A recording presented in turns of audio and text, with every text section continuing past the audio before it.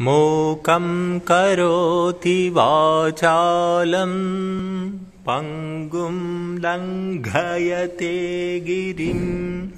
यत्कृपातमहं वन्दे परमानन्दश्रीगुरुम्।